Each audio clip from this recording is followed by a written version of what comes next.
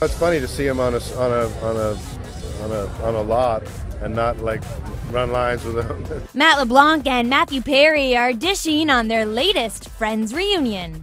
Both actors are filming shows on the same Los Angeles lot. Is there going to be like a a, a I've already friends? seen Matty. I've already bumped into him twice. Oh, you have. Yeah. So yeah, have a little like like friends. him in here. Sure, I'm sure he's in weird. He's shooting The Odd Couple with Thomas Lennon, and his former co star has a new series coming out called A Man with a Plan. Matt, I was talking to uh, Matthew earlier. You guys are both shooting on CBS Radford. You're all. Next door neighbors now. Yeah, that's great to see him there, and it's uh, you know, it's funny to see him on a s- on a on a on a on a lot and not like run lines with him.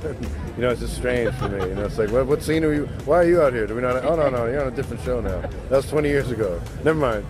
LeBlanc also shared some advice for another cast, the Big Bang Theory stars. They're in a situation where they're doing like some full cast negotiations, and a lot of people are comparing it to when you were back on Friends and you were doing that as a cast negotiating for the next season. Would you have any advice for them? Uh, you know what to do? Yeah, they called me.